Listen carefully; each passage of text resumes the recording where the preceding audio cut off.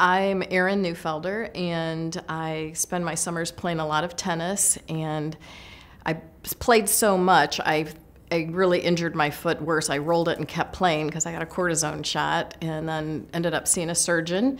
Had the bone taken out and um, my tendon sewn up.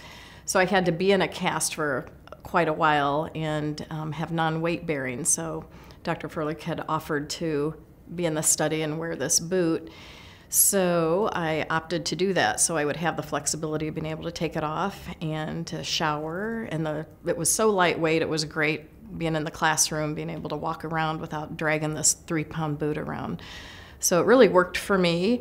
Um, as I'm healing, I think the healing process was great because I could put weight on it and I was non weight bearing for so long and still do the exercises to strengthen my ankle by having the flexion available for me. So that was huge. So when he said you'll be able to shower, because it was horrible trying to shower with that soft cast on my leg, and I said, "You're kidding! I can take it off." And he's like, "You can take everything off. Your shoe, huge to a female to get in that shower and not have to have your hang, your leg hanging out." So that that was that was a good thing for me. One of the great advantages with the TayCo brace is being able to put it on and off your foot, and I. Um, was able to do that very quickly. As I said, I was a, I'm a school teacher, and the days that it was snowy, I didn't wear this outside, but I was able to take it off quickly, put my snow boot on, and um, come in and put it on quickly without spending time. But it's very, very easy to get on and off your foot.